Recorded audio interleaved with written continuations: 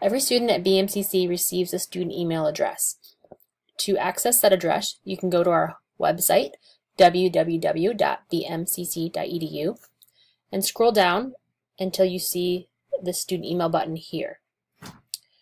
When you click the button, it will bring you to Gmail, which is what our emails are through.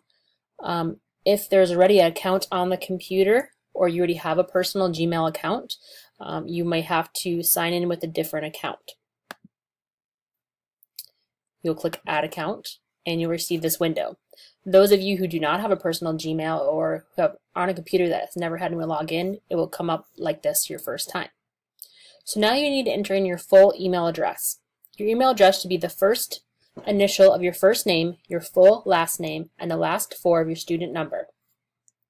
So I'm going to use a student called example student. So the first initial of the first name, E for example, the full last name, which I'm using student, and the last four of your student number. You're also going to add the domain, which is at student.bmcc.edu. You'll need that full address in there to log in. You're going to click Next. Now you enter your password.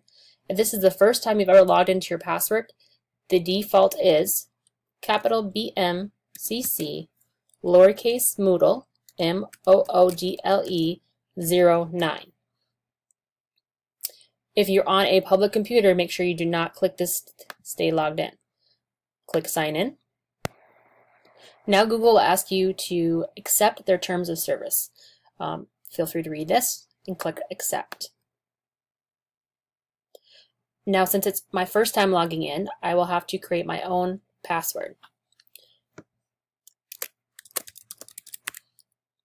You'll need to enter in your password twice and click change password. You can feel free to add your uh, cell phone number as a recovery or another email.